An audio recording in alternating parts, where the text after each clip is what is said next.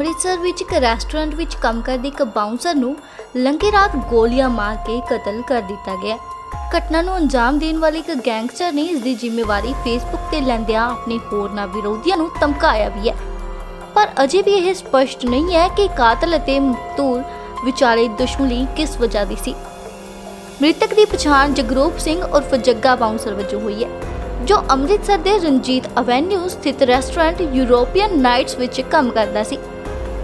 ਪਤਾ ਲੱਗਿਆ ਕਿ ਪ੍ਰੀਤ ਸੇਖੋਂ ਨਾਂ ਦਾ ਇੱਕ ਗੈਂਗਸਟਰ ਜੋ ਆਪਣੇ ਦੋ ਹੋਰ ਸਾਥੀਆਂ ਨਾਲ ਇੱਕ ਕਾਰ ਵਿੱਚ ਮੌਕੇ ਤੇ ਪਹੁੰਚਾ ਸੀ, ਉਸਨੇ ਜੱਗਾ ਤੇ ਉਸ ਵੇਲੇ ਗੋਲੀਆਂ ਚਲਾਈਆਂ, ਜਦੋਂ ਉਹ ਰੈਸਟੋਰੈਂਟ ਵਿੱਚ ਕੰਮ ਖਤਮ ਹੋਣ ਉਪਰੰਤ ਘਰ ਵਿੱਚ ਜਾਣ ਲੱਗਾ ਸੀ।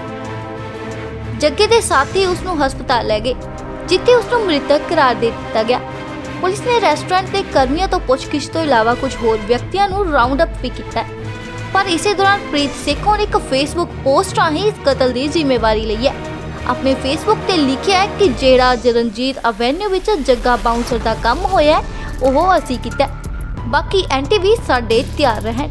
ਨੰਬਰ ਉਹਨਾਂ ਦਾ ਵੀ ਆਉਣ ਵਾਲਾ ਜਲਦੀ। ਜੀ ਥਾਣਾ ਰਣਜੀਤ ਐਵਨਿਊ ਥਾਣੇ 'ਚ ਲੱਗਾ ਹੋਇਆ ਜੀ। ਮਾਮਲਾ ਇਹਦੇ 'ਚ ਇਹ ਜੀ ਆਪਣੇ ਜਗਰੂਪ ਸਿੰਘ ਜੱਗਾ ਜੀ ਇਹ ਯੂਰਪ ਨਾਈਟ ਦੇ ਵਿੱਚ ਬਾਉਂਸਰ ਦਾ ਕੰਮ ਕਰ ਰਿਹਾ ਜੀ। ਇਹ ਨਾਈਟ ਜਦੋਂ 11 ਵਜੇ ਇਥੋਂ ਛੁੱਟੀ ਕਰਕੇ ਜਾ ਰਿਹਾ ਸੀ ਇਹਦੇ ਨਾਲ ਪ੍ਰਗਟ ਸਿੰਘ ਹੀ ਇਹ ਆਪਣੇ ਗਿਆ ਇਨੋਡ ਬੇਕਰੀ ਦੇ ਲਾਗੇ ਉੱਥੇ ਜਾ ਕੇ ਬਾਥਰੂਮ ਕਰ ਰਿਹਾ ਸੀ। ਜਦੋਂ ਬਾਥਰੂਮ ਕਰ ਰਿਹਾ ਤਿੰਨ ਅਣਪਛਾਤੇ ਨੌਜਵਾਨ ਆਏ ਜਿਨ੍ਹਾਂ ਨੇ ਸ਼ਿਫਟ ਕਾਰ ਹੀ ਗੋਲੀਆਂ ਮਾਰ ਕੇ ਉੱਥੇ ਜ਼ਖਮ ਸੁੱਟਤਾ। ਕਿੰਨੀਆਂ ਗੋਲੀਆਂ ਲੱਗੀਆਂ ਜੀ ਉਹਨੂੰ 8-9 ਗੋਲੀਆਂ ਲੱਗੀਆਂ ਹੋਣਗੀਆਂ ਜੀ। ਕੋਈ ਪੁਰਾਣੀ ਰੰਜਿਸ਼? ਪੁਰਾਣੀ ਰੰਜਿਸ਼ ਬਾਰੇ ਜੇ ਕੋਈ ਨਹੀਂ ਪਤਾ ਜੀ। ਜੋ ਵੀ ਆਪਾਂ ਨੂੰ ਪਤਾ ਵਾਰ ਹੋਈ ਹੈ ਜੀ ਹਾਂਜੀ? ਗੈਂਗ ਵਾਰ ਹੋਈ। ਇਹਦੇ ਬਾਰੇ ਜੇ ਚੱਲ ਰਹੀ ਤਬਦੀਲ ਚੱਲ ਰਹੀ ਜੋ ਤਬਦੀਲ ਉਹ ਤੁਹਾਨੂੰ ਦੱਸਿਆ ਪਰ ਜੀ ਗੈਂਗਸਟਰਾਂ ਦੇ ਵੱਲੋਂ ਤਾਂ ਜ਼ਿੰਮੇਵਾਰੀ ਚੁੱਕੀ ਗਈ ਹੈ ਜੀ ਉਹ ਦੇਖੋ ਜੀ ਤਬਦੀਲ ਕਰ ਰਹੇ ਸੱਚੋ ਸਾਹਿਬ ਮੌਕੇ ਤੇ ਗਏ ਆ। ਉਹ ਵੇਖਣਗੇ ਜੋ ਵੀ ਉਹ ਤੁਹਾਨੂੰ ਦੱਸਿਆ ਜਾਵੇ ਪੱਤੇ ਦਰਜ ਹੋ ਗਿਆ ਜੀ? ਹਾਂਜੀ ਪਰਚਾ ਦਰਜ ਹੋ ਗਿਆ। ਗ੍ਰਿਫਤਾਰੀ ਗਈ ਅਜੇ ਗ੍ਰਿਫਤਾਰੀ ਨਹੀਂ ਹੋਈ ਪੋਸਟਮਾਰਟਮ? ਪੋਸਟਮਾਰਟਮ ਹੋਣ ਹੈ ਅਸਲ ਕਿਸ ਤਰ੍ਹਾਂ ਦਾ ਪਰਚਾ ਦਰਜ ਕੀਤਾ ਗਿਆ ਜੀ? 302 ਦਾ ਜੀ ਧਾਰਾ ਤੋਂ ਕਿੰਨੇ ਦੋਸ਼ੀਆਂ ਖਿਲਾਫ? ਇਹਦਾ ਹੈਗਾ ਜੀ ਜਿਹੜੇ ਆਪਣੇ ਜਿੰਨੇ ਦੋਸ਼ੀ ਆ ਰਹੇ ਉਹਦੇ ਜਿਹੜੀ ਚੱਲ ਰਹੀ ਹੈ ਨਹੀਂ ਕਹਿੰਦੇ ਉਸ ਨੌਜਵਾਨ ਨੂੰ ਜਿਹੜੀ ਪੋਸਟਿੰਗ ਪਾਈ ਗਈ ਫੇਸਬੁੱਕ ਤੇ ਜੀ।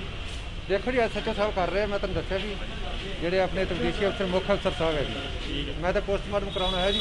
ਇਹ ਕਰਕੇ ਪੋਸਟਮਾਰਟਮ ਦੇ ਵਿੱਚ ਠੀਕ ਹੈ ਓਕੇ ਨਾਮ ਨਾਮ ਮੇਰਾ ਭਾਜੀ ਸੁਖਜਿੰਦਰ ਸਿੰਘ ਜੀ। ਕੀ ਮਾਮਲਾ ਕੀ ਸਰ ਮਾਮਲਾ ਕੁਝ ਨਹੀਂ ਸਰ ਡਿਊਟੀ ਸਾਡੀ ਖਤਮ ਹੋਈ ਅਸੀਂ ਘਰ ਨੂੰ ਜਾਣ ਆ ਜੀ। ਰਣਜੀਤ ਐਵਨੀ ਇਹਨੂੰ ਬੈਕਰੀ ਲੱਗ ਅਸੀਂ ਖਲੋਤੇ ਆ ਜੀ। ਆਣ ਕੇ ਸਾਡੇ ਲਾਗੇ ਸਵਿਫਟ ਗੱਡੀ ਖਲੋਤੀ ਆਉਂਦੇ ਆ ਉਹਨਾਂ ਨੇ ਫਾਇਰਿੰਗ ਕੱਢਣੀ ਸ਼ੁਰੂ ਕਰਤੀ ਹੈ ਜੀ। ਤੇ ਮੇਰੇ ਨਾਲ ਮੇਰਾ ਭਰਾ ਦੇ ਉਹਦੀ ਮੌਕੇ ਤੇ ਡੈਥ ਹੋ ਗਈ ਹੈ ਜੀ। ਹਾਂਜੀ। ਕੌਣ ਹੈ ਕਿਸੇ ਬੰਦੇ ਹੋ ਜੀ? ਉਹ ਭਾਜੀ ਉਹਨਾਂ ਦੇ ਅੱਗੇ ਵੀ ਥੋੜਾ ਬਹੁਤਾ ਹੈਗਾ ਜੀ ਆਪਣਾ ਲਾਗ ਡਾੜੇ ਉਹਨੇ ਫੇਸਬੁੱਕ ਤੇ ਲਾਈਵ ਹੋ ਕੇ ਆਪਣੀ ਪੋਸਟ ਪਾਈ ਆ ਜੀ ਮੈਂ ਇਹ ਜਿਹੜਾ ਵੀ ਕੰਮ ਹੋਇਆ ਇਹਦੀ ਮੈਂ ਜ਼ਿੰਮੇਵਾਰੀ ਮੈਂ ਲੈਣਾ ਵੀ ਇਹ ਮੈਂ ਕੀਤਾ। ਕੋਈ ਗੈਂਗਸਟਰ ਹੈ ਜਾਂ ਨੇ ਗੈਂਗਸਟਰ ਹੀ ਸਰ ਉਹਦੇ ਅੱਗੇ ਵੀ ਕੇਸ ਕੂਸ ਚੱਲਦੇ ਅੱਗੇ ਭਗੌੜਾ ਆ ਜੀ। ਕੀ ਨਾਂ ਕੀ ਬੰਦੇ ਦਾ? ਪ੍ਰੀਤ ਸੇਖ ਹੋਏ ਤੁਹਾਡੇ ਨਾਲ ਰੰਜਿਸ਼ ਦੀ ਰੰਜਿਸ਼ ਹਾਂ। ਪੁਰਾਣੀ ਸਰ ਨਿਗਾਹ ਜਿਹਾ ਝਗੜੇ ਤੋਂ ਹੀ ਇਦਾਂ ਜ਼ਿਆਦਾ ਹੋ ਗਿਆ ਭਰਾ ਦੀ ਮੈਰਿਜ ਤੇ ਗਏ ਹਾਂ ਉੱਥੇ ਥੋੜਾ ਝਗੜਾ ਹੋ ਗਿਆ ਸੀ। ਤੇ ਉਦੋਂ ਦਾ ਹੀ ਸਾਡੇ ਨਾਲ ਥੋੜਾ ਜਿਹਾ ਖਾਰ ਰੱਖਦਾ ਸੀ। ਕੀ ਬੰਦਾ ਤੁਹਾਨੂੰ ਉਹ ਜਾਣਦਾ ਹੈ? ਹਾਂਜੀ ਜਾਣਦਾ ਰਿਹਾ ਸਾਡੇ ਨਾਲ ਹੀ ਪਹਿਲਾਂ ਕੰਮ ਕਰਦਾ ਹੁੰਦਾ ਸੀ ਬਾਅਦ 'ਚ ਸਾਡੇ ਨਾਲ ਹੀ ਇਦਾਂ ਵਿਰੋਧ ਹੋ ਗਿਆ ਜੀ। ਇਹ ਕਿੱਥੇ ਜੋਬ ਕਰਦੇ ਸੀ ਕਿਹੜਾ ਰੈਸਟੋਰੈਂਟ 'ਚ ਕਰਦੇ ਸੀ ਕਿੰਨੀ ਦੇਰ ਤੋਂ ਕਰ ਰਹੇ ਸੀ ਕੋਈ ਉਹਦੀ ਸੀਸੀਟੀਵੀ ਤੁਹਾਡੇ ਸਾਹਮਣੇ ਆਈ ਹੈ ਤਾਂ? ਹਾਂਜੀ ਸਰ ਇਹ ਹੁਣ ਜਿਹੜਾ ਮੇਰਾ ਭਰਾ ਦੀ ਡੈਥ ਹੋਈ ਹੈ ਉਹ ਯੂਰੋਪੀਅਨ ਨਾਈਟ ਵਿੱਚ ਡਿਊਟੀ ਕਰਦਾ ਸੀ। ਤੇ ਮੈਂ ਬਲੈਂਕ ਟਾਇਰ ਵਿੱਚ ਡਿਊਟੀ ਕਰਦਾ ਸੀ। ਹਾਂਜੀ। ਕਾਹਦਾ ਕੰਮ ਕਰਦੇ ਟਾਈਮ ਤੁਸੀਂ ਸੀ ਰਾਤੀ ਜਦੋਂ ਵਾਰਦਾਤ ਹੋਈ? ਸਰ 11:30 ਵਜੇ ਦਾ ਟਾਈਮ ਕਿਹੜੀ ਜਗ੍ਹਾ ਚੱਲੀ ਗੋਲੀ ਇਹ ਰਜੀਤ ਐਵਨਿਊ ਤੇ ਐਨਓਟ ਬੈਕਰੀ ਦੇ ਸਾਹਮਣੇ ਬਾਈਪਾਸ ਉੱਤੇ। ਸਰ ਤੁਸੀਂ ਕੀ ਕੰਮ ਕਰਦੇ ਹੋ? ਮੈਂ ਵੀ ਬਾਉਂਸ ਦੀ ਡਿਊਟੀ ਕਰਦਾ ਹਾਂ। ਹੂੰ। ਹਾਂਜੀ। ਠੀਕ ਹੈ ਤੇ ਉਹ ਬੰਦੇ? ਉਹ ਤਾਂ ਹੁਣ ਪਕੌੜੇ ਆ ਭਾਜੀ ਹੁਣ ਨਹੀਂ। ਕਿੰਨੀ ਲੜਕੇ ਦੀ ਤੇ 30 ਸਾਲ 30 ਸਾਲ ਉਮਰ ਹੈ ਵੀਰ ਦੀ ਜਿਹਦੀ ਡੈਥ ਹੋਈ ਹੈ। ਜਗਰੂਪ ਸਿੰਘ ਜੀ। ਵਿਆਹ ਜੀ? ਹਾਂਜੀ ਜੀ ਮੈਂ ਜੀ। ਕਿੰਨੇ ਬੱਚੇ ਜੀ ਇੱਕ ਬੱਚਾ ਇੱਕ ਬੇਟਾ ਜੀ। ਹੁਣ ਕੀ ਮੰਗ ਕਰਦੇ ਹੋ ਪੁਲਿਸ ਤੋਂ ਤੁਸੀਂ? ਅਸੀਂ ਆਨੇ ਭਾਜੀ ਜਲਦ ਤੋਂ ਜਲਦ ਕਾਰਵਾਈ ਹੋਵੇ ਉੱਤੇ ਬੰਦੇ ਗ੍ਰਿਫਤਾਰ ਹੋਣੇ ਹਾਂਜੀ ਗ੍ਰਿਫਤਾਰ ਹੋਣੇ ਚਾਹੀਦੇ ਜੀ। ਠੀਕ ਹੈ। ਮੇਰਾ ਨਾਮ ਸਰ ਗੁਰਮੇਸ਼ ਸਿੰਘ।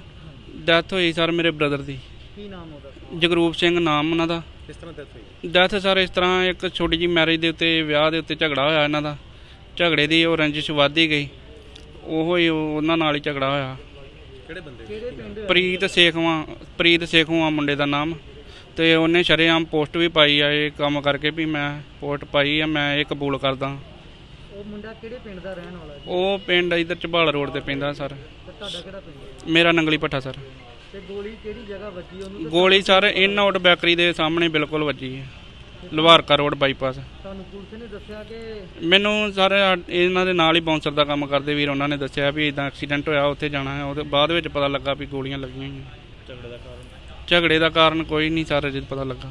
ਕੋਈ ਪੁਰਾਣੀ ਰੰਜਿਸ਼ ਸੀ ਤੁਹਾਡੀ ਇਹਨਾਂ ਨਾਲ? ਪੁਰਾਣੀ ਰੰਜਿਸ਼ ਸੀ ਉਹ ਮੈਰਿਜ ਵਾਲੀ ਜਿਹੜੀ ਰੰਜਿਸ਼ ਸੀ ਉਹੀ ਆਉਣ ਦੀ ਤੁਹਾਡੇ ਨਜ਼ਦੀਕੀ ਨੇ ਬੰਦੇ ਜਿਹਨਾਂ ਗੋਲੀ ਚਲਾਈਆਂ ਇਹਨਾਂ ਦੇ ਨਾਲ ਪਹਿਲਾਂ ਕੰਮ ਕਰਦੇ ਰਹੇ ਇਕੱਠੇ। ਕਾਹਦਾ ਕੰਮ ਕਰਦੇ ਸੀ ਜੀ ਇਹ ਬਾਉਂਸਰ ਦਾ ਕੰਮ ਕਰਦੇ ਸਾਰੇ। ਕਿੰਨੀਆਂ ਗੋਲੀਆਂ ਵੱਜੀਆਂ? ਗੋਲੀਆਂ ਉਦਾਂ ਦੇ 9-10 ਗੋਲੀਆਂ ਵੱਜੀਆਂ ਤੇ 15-16 ਫਾਇਰ ਨਿਕਲੇ ਉੱਥੇ। ਅਸਲ ਵਿੱਚ ਰੰਜਿਸ਼ ਕੀ ਹੈਗੀ? ਅਸਲ ਵਿੱਚ ਰੰਜਿਸ਼ ਇਹੋ ਹੀ ਆਉਣ ਦੀ ਸਾਹਮਣੇ ਵਿਆਹ ਵਾਲੀ। ਠੀਕ ਹੈ। ਹਾਂਜੀ। ਜਿਹੜੇ ਗੋਲੀਆਂ ਚਲਾਈਆਂ ਉਹ ਕਿੰਨੇ ਬੰਦੇ ਸੀ ਉਹ ਤਿੰਨ ਚਾ- ਚਾਰ ਜਣੇ ਕਹਿੰਦੇ ਆ। ਤੇ ਗੋਲੀਆਂ ਕਿੰਨੇ ਕਿੰਨੇ ਚਲਾਈਆਂ ਉਹਦੇ ਉਹਨਾਂ ਵਿੱਚੋਂ ਇੱਕ ਚਲਾਉਣ ਵਾਲਾ ਸੀ ਡਰਾਈਵਿੰਗ ਕਰਨ ਡਿਆ ਸੀ ਤਿੰਨ ਜਣੇ ਗੋਲੀਆਂ ਚਲਾਉਣ ਵਾਲੇ ਸੀ। ਕੀ ਕੀ ਨਾਮ ਉਹਨਾਂ ਦੇ? ਉਹਨਾਂ ਦਾ ਨਾਮ ਨਹੀਂ ਮੈਨੂੰ ਪਤਾ। ਤੇ ਕਿੰਨੇ ਫਾਇਰ ਹੋਏ ਟੋਟਲ ਕਿੰਨੇ ਲੱਗੇ ਗੋਲੀਆਂ? 15 16 ਕਹਿਣ ਦੇ ਤੇ 9 ਲੱਗੀਆਂ ਗੋਲੀਆਂ 8 9 ਗੋਲੀਆਂ ਲੱਗੀਆਂ।